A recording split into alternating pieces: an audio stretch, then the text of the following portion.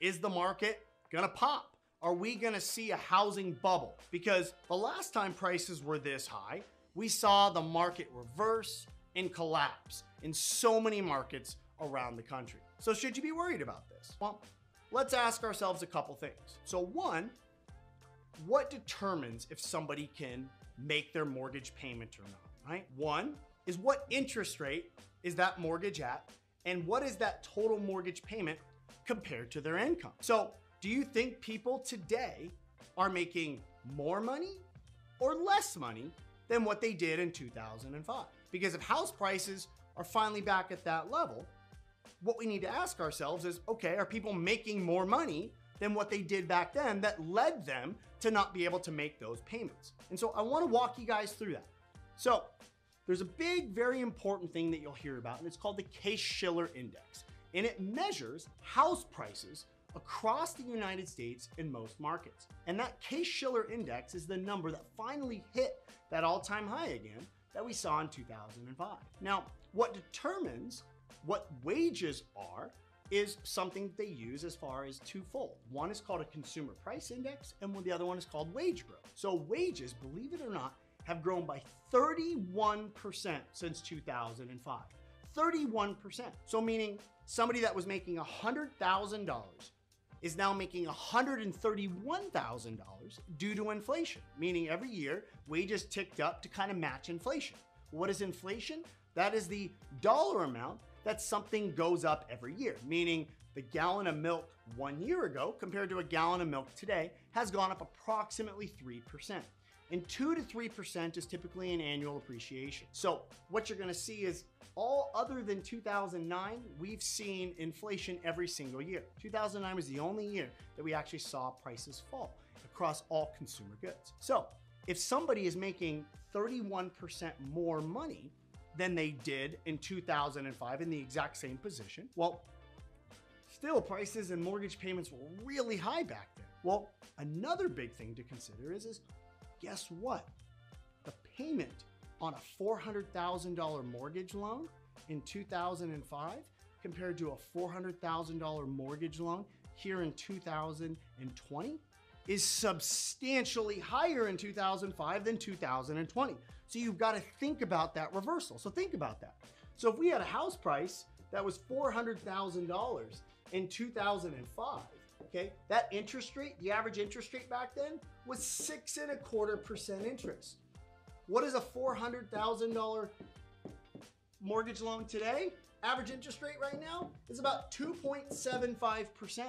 So think about that. This person was paying double or more the interest. So, question if this person on this loan was paying on an annual, you look at that every year, it's roughly paying an extra $700 a month in interest.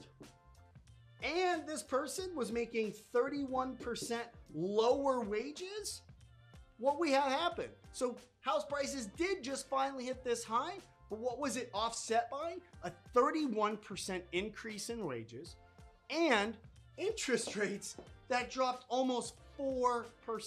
So, a little statistic 60% of all the mortgages in the United States are under 4%. 60% of them.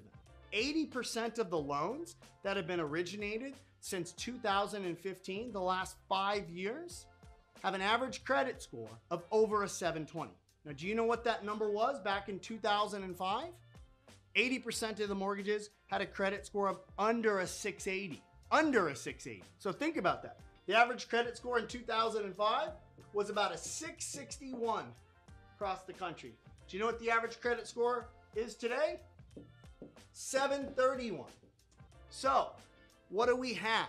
We just because house prices are back at those levels again does not mean house prices and homes are the same expensive nature and that burden that a human being feels to make that mortgage payment. Why? Just as the house price is the same, doesn't mean the mortgage payment's the same. Because when you have that much lower of an interest rate, you have a much, much lower payment for the same amount borrowed. And if you have wages that are 31% more than they were 15 years ago, you probably have a little bit of extra money to cover that mortgage payment, right?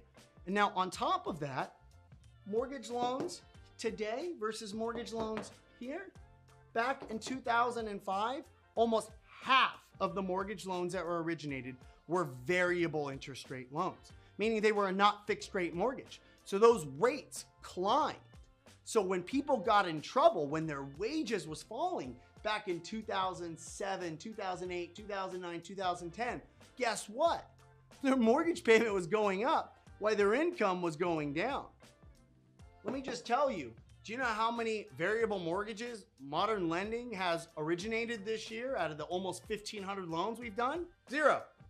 Everybody has a fixed rate first mortgage. So not only do you have people making more money, you have substantially lower interest rates, fixed rate mortgages, and now home prices are just finally back at those levels. So this isn't adjusted for inflation, right? Because a dollar back in 2005 got a lot more than it does today to buy milk, to buy burgers, to buy gas. But guess what? That dollar today still gets you the same price of home, right? Because those house prices are just back there. So when you're looking at being concerned of a housing crash, do not use price to dictate affordability because you are making an absolute asinine mistake and you're severely wrong because what people pay on a monthly basis for that home and what they bring in is what dictates their ability to pay their mortgage, not what their home price is worth.